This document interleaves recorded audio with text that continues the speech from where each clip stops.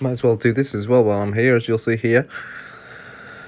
Um, this this was posted on Twitter, and uh, from like the other side again, George Galloway. Like, if, has there ever been a tyrant whose like feet he hasn't been sucking on? I'm surprised he isn't.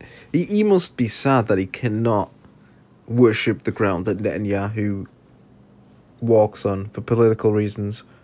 And here he is again, of course, because all he's motivated for by is just the, a hatred of white people, white things, white culture, white history, Europeans, the British Empire, anything us, he despises. His wife is a Yemeni. I imagine his children are of foreign descent. Like, he's not us. And he goes around, he's smearing fucking white people. Look, look at this. He, he reposts this. And as a journalist, apparently, apparently, I mean, eh, that's almost, well, I had to stop myself laughing then.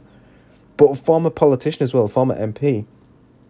And once again, you know, I, I know I'm, I just said, us those things, and they're two of the most, like, disgraced and villainous um, professions uh, in the modern era, as you can see here by, I mean, he's reposting, um, you know, blood libel.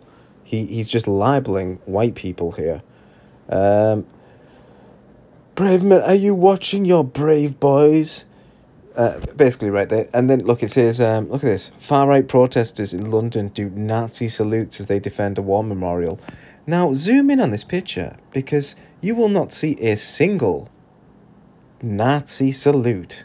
God forbid somebody throws a Roman salute. Oh my God, it's the end of the day, guys. It's the end of days, guys. You can have like 16,000 Muslims in a street all fucking praying, the traffic can't move. It's annoying. The fucking, you can't, you can hear it through closed windows. That's fine. That's fine. But God forbid somebody throw up a, a Roman salute. A Roman salute. Oh no. Um, but not one. There's not one. You look, you zoom in on this picture. There is at the right, there's somebody throwing up the devil horns. Everybody that has their ar- like arms up it with their hands like splayed out as if it could be like a salute, they have both their arms up. They're like putting their arms up to show the police we're not armed. Stop charging us. And and they're showing them peace signs. There's another one where you can see the fingers uh, are just it's it's a convenient photo where you don't capture people like actually putting their fingers up in a peace sign. Look at the guy turned around, doing the same to them. And of course, if you look right at the front row, Miss, of course, Mr. George Galloway wouldn't do that. He wouldn't investigate the stuff. He just recklessly post it and repost it on social media. You know, which should, in his position, be a prison. Like it, it should be an offense. You should be be able to hold off to prison for. He's causing white hatred with his lies, and he is knowingly doing it.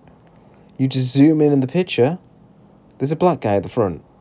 And of course, you look at his left hand, two fingers up, peace.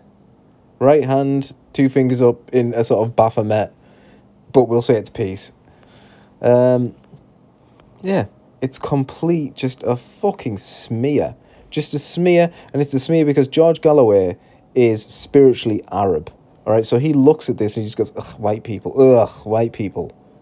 Repost, my wife is a Yemeni. He's a sick fucking son of a bitch, Mullah George Galloway. And he, along with Tommy Robinson, Tommy Lennon Yaxley, and Douglas Murray, they should all be put in a fucking boat and just sent out. Just sent just fucking the coast of fucking Cornwall and just kick the boat off the fucking pier.